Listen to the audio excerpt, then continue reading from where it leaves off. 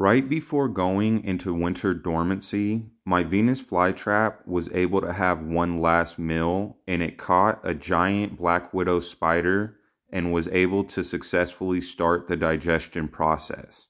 Typically, my plants will digest a meal for three to four weeks before opening back up. This spider has been in the plant now for 22 days. I was curious how strong the digestion process is with the plant leading into dormancy, so I figured we would use some sterilized scissors and cut it open and see.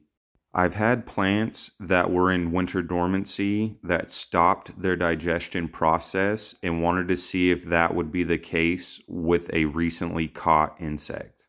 Upon inspecting the trap we cut off, both sides seemed to still be in good health with very little issues.